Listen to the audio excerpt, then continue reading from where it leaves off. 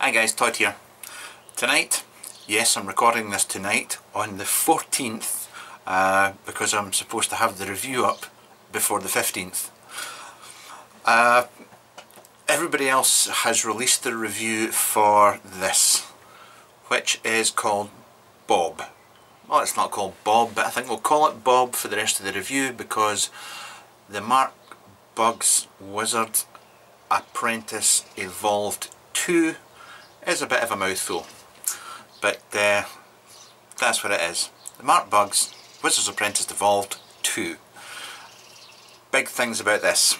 Okay, a lot of people are going to know Mark Bugs you know, the Chalice, the Wizard, you know, Wizard Evolved and all that kind of stuff. Uh, he really does make some pretty premium gear. The build quality of the gear that he normally puts out is usually top notch. Um, I have reviewed some of his stuff in the past. Um, I did not get on, me personally I did not get on with the touch sensors on uh, the stuff that he's had in the past.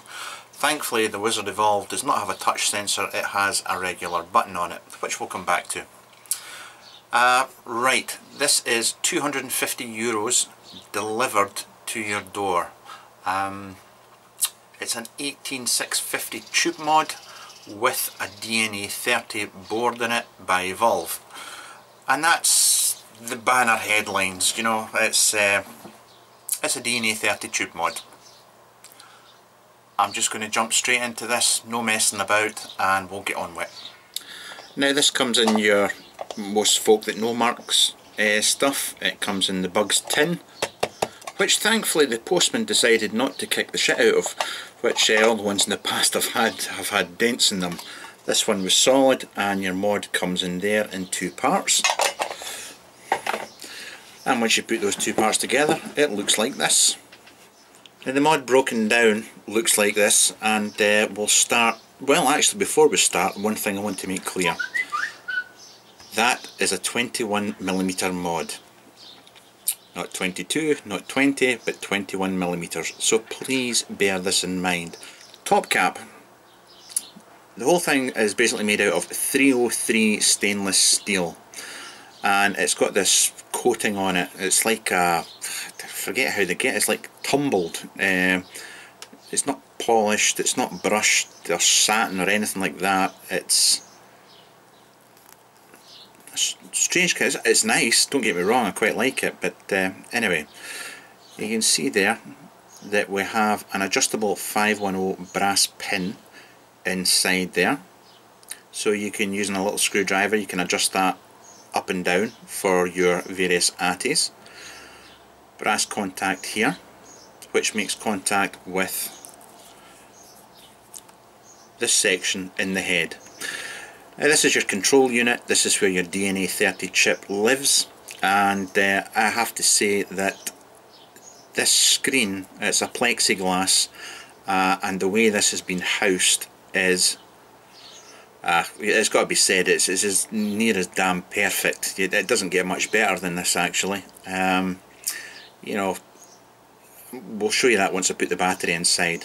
But uh, you know this just screws onto here like so I should point out there's talk of uh, an atomizer coming out from Mr. Bugs uh, that will thread directly into here and give you that kind of all-in-one hybrid look.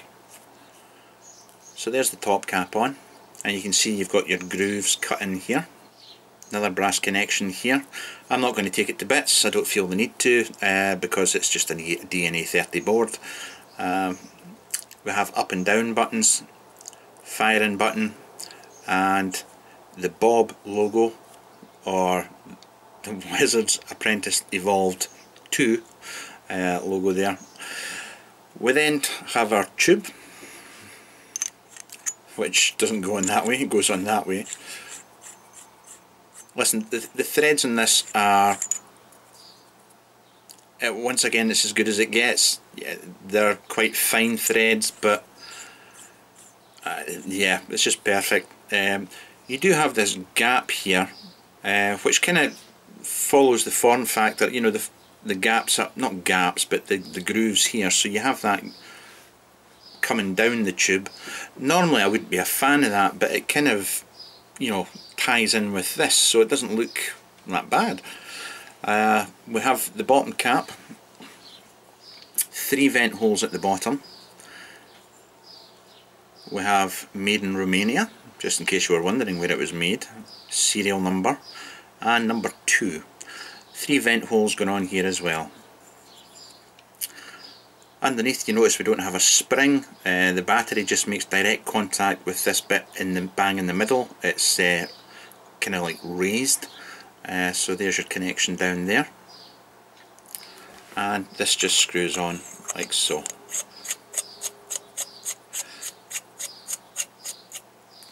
And that is your device. Uh, top to bottom you're looking at about 113 millimeters in length and for an 18650 DNA 30 tube mod that's small that that that really is that's compact and bijou Austin uh, that's really smart um, now battery wise I've been using AWIMR 18650s and when you screw that right in you get two matching gaps using the 18650s however if you have longer batteries than the AWIMRs this bit is actually designed down here so that you have that much gap so you can put larger batteries in here uh, you know that's actually designed to have this extension. I don't like it, I have to admit, I don't like it. Uh, I just because I don't like seeing more of a silver band here than up here. But that's just me being a fussy sod.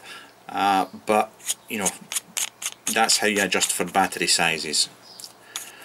That's how you adjust for battery sizes if they are larger than an AWIMR. However, if you have batteries that are smaller than an AWIMR, you have a problem.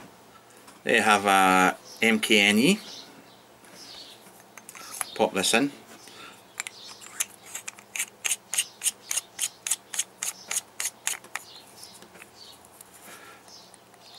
Nothing. I've got a rattle. Uh, so I have an MKNE here, I have a Sony here, and they both don't work. Uh, so there you go. Not all batteries are going to fit in here. Uh, have an eFest high discharge one here as well. Uh,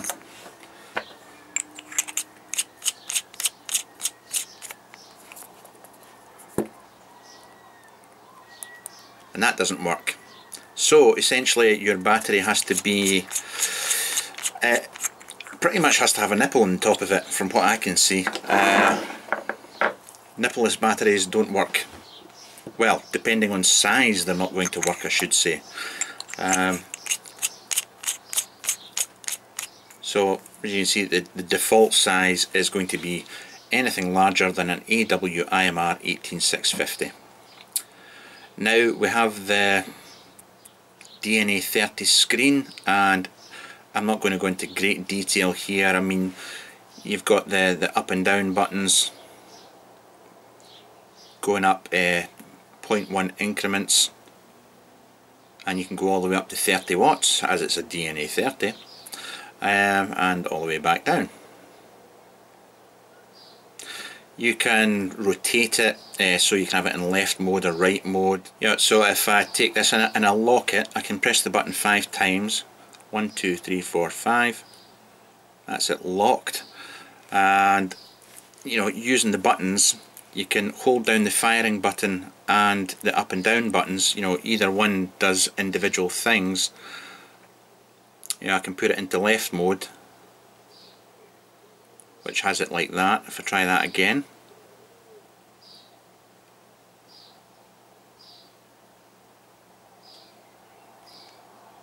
there I am in right mode, so I've turned the screen round. Just holding the fire button and the I think that's the down one there and there I'm in left mode.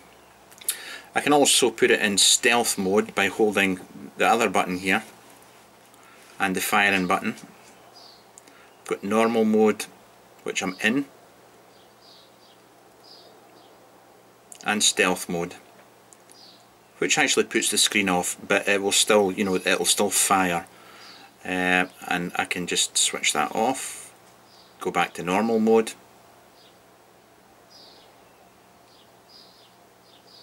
And there we go. If you hold the fire and the the two up and down buttons at the same time.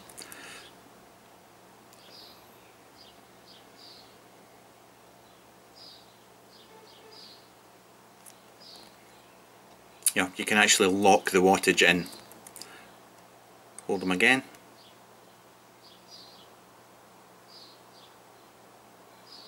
And that's it gone. Uh, so that's just the basic functions with the you know the DNA 30 chip. That should apply to all DNA 30 buttons and chip, uh, all DNA 30 mods if they have that enabled. I should also point out that when you switch it on, when you put your first battery in, you get marked bugs coming up on, you know, that's your splash screen if you like. And, and that's really it, that's about all I have to say on the up close stuff. Before I get in for the whole, this is how it vapes carry on, uh, few things that we really need to discuss first. There's an elephant in the room. It's not TJ. Um, the 21 millimeters in diameter. Uh, I know a lot of folk are going to complain that it's 21 millimeters in diameter because they have 22 millimeter mod, uh, 20 mil, 22 millimeter toppers already. Uh, it's not the first time this has happened. There's other 21 millimeter mods out there. There's other 21 millimeter ATIs out there. Um, there's 20mm ATIs out there. It's just one of these things. Um, it, uh, it, uh, you know, if he's releasing an atomizer to go on top of this, then yeah. But then he could have made it 22. But then he could have made it 20. Uh, in a perfect world, you know, we, we would all be using the exact same diameter of mods. Uh, but it's not a perfect world and it's just one of these things that if you're not a fan of 20mm uh, or 21mm mods then this is not the device for you. You could say in some respects that he's limiting his market. I kind of think he is uh, by just having it in 21 but yeah, that's just my opinion. Um, the other thing is the finish. Once again this is no different to other mods. Some mods come stainless steel, brushed powder coated, engraved, all that jazz. You know, there's so many different things that, uh, once again, it's going to be a case of, do you like this finish? You either do you don't. My temptation is to polish it, of course, uh, but uh, I don't find it offensive, but what I do think is that it picks up scuffs really easily, personally. I would like to have just seen a stainless steel or a brushed myself once again that's just personal opinion. But I think that you know if this isn't going to be some of some kind of uh, you know sitting on a mantelpiece or just one of these things that never leaves the house then you'll be fine. But if you buy one of these to use day to day it's not going to look as good as that for very long because it will get scuffed. Uh, so bear that in mind. The batteries setup it's yes it does have this adjustment thing here going on uh, which is great if you have batteries that are bigger than an AWIMR if you have batteries that are smaller than an AWR AWIMR then you're, you're done for um, which is quite annoying because I have a lot of them uh, so I've had to be using um, magnetic spacers. That's just another thing that you're going to have to take into consideration. The buttons on here. The firing button is, is, is a delight to use. There's no, it's just nice and soft. The up and down buttons are stiff, which is, in my opinion, is a very good thing because, you know, when you're holding it and whatnot, you don't put the voltage up and down by mistake, it, the wattage, it just doesn't happen with this thing. Uh, it, you need a solid push to get the wattage to go up or down. However, as much as the firing button is a delight to use, uh, I actually knocked it over. It was funny, it, Ben, uh, my boss, uh, he, he, was talking to me and I went to reach for something and, and it, it just fell over. The mod actually fell over on the, the counter. And I've been using the, the Aqua, because it's 21 millimeters on it. And when it fell over, it actually rolled over and landed on the button. And started firing. Um, which was, I'm just laying it down here now. And it's firing. So if, if you lie that down like that, with an ATI on it, it fires. You could say, well don't leave it lying down. well that's fine, but if it falls over it's just going to keep firing uh, until the cutoff kicks in. So while in a lot of respects I love the firing button, I love the up and down buttons that they're stiff and I, and I find it really comfortable to vape with, you know, just hold it like that. I actually use my thumb a lot when I'm vaping with it. I hold it like that. Um, no issues with that at all. Uh, I just, it's just,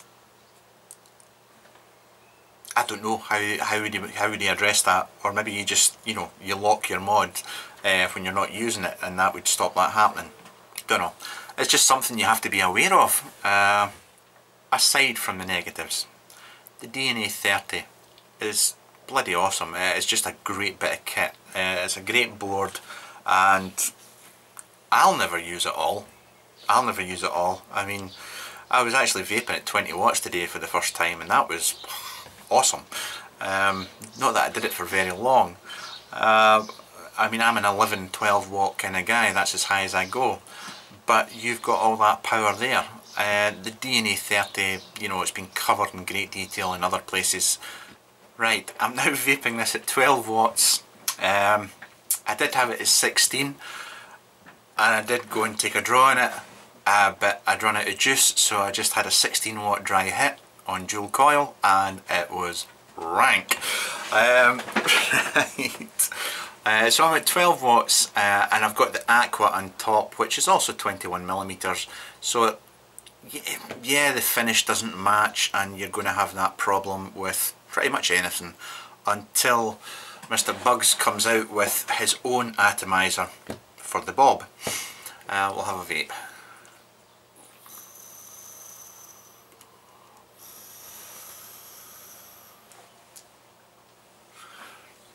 And that's 12 watts and that's just a lovely vape that. Um, but that's more down to the aqua than anything else. I've been possibly uh, listed more negatives than positives here, uh, but that's mainly because I want to point out the things that have been niggling me or the faults that I've found because of the price. It's 250 euros delivered, granted. It's an expensive mod. Now, what I will say is that this is, even with the niggles, a beautifully built and constructed piece of equipment. It's pretty much stunning and taking the battery sizes, or not the battery size, but taking the diameter out and the finish and all that, it's it's it's just stunning. It is. It, it really is stunning. Um, anybody that knows Mark Bug's work, his previous work, and has had any of his other gear, yeah, you, you guys would be impressed. And anybody that you know hasn't come across it will just it is, it's beautiful. It is a thing of beauty, in my opinion it is anyway. This is going to appeal to so many people. I mean, it's not going to be one for everybody. If you're a, an avid Mark Bugs fan type thing, then you will not be dis disappointed. If you've seen it and you think I must have that, you will not be disappointed. Just be aware of the some of the things that I've pointed out. I think down the line this is going to be one of these it's going to be a collectible. And I don't know how to say this, I don't know if this is a, a comparison that, I'm trying to think of a comparison to make. I'm not a fan of the Provari. I never have been and I've owned many of them and I own go through periods of owning them because no matter whether or not I, you know I don't like them because I find them a bit soulless, if you can attribute that to a piece of equipment. Um, they are without a doubt stunning at what they do. You know, they're just, they work uh, and they continue to work and you can't fault them in that respect. They just have that certain build quality and this is the same, it just has that certain build quality. It's stunning. It is just, you know this was built well. Um, does it deserve the price tag because of that?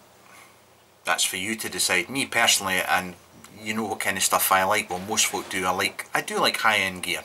Um, this is my kind of thing. I, I really, the quality is just superb.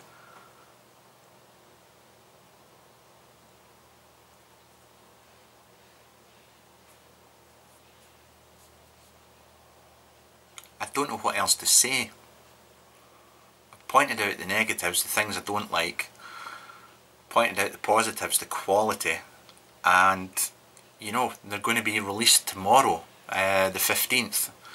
So if you're wanting one, you'd better get along to Mark Bugs' website, which will be up in the corner somewhere. I just kind of wish that he'd released the atomizer at the same time rather than releasing the mod and then you have to wait for the atomizer. Because you might not like the bloody atomizer you know it might not be your thing so you might not want to buy it.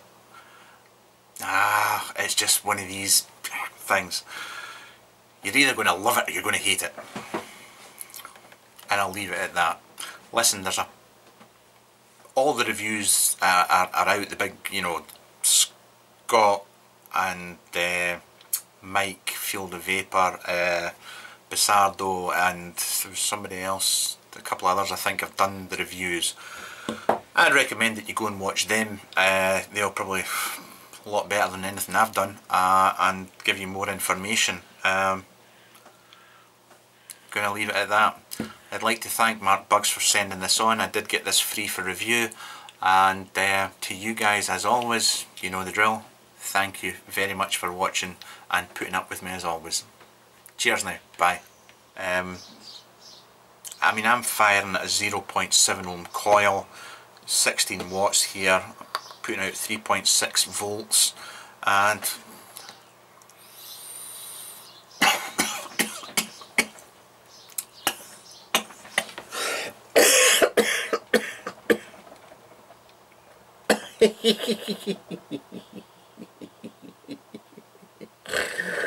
Oh, you fucking spanner.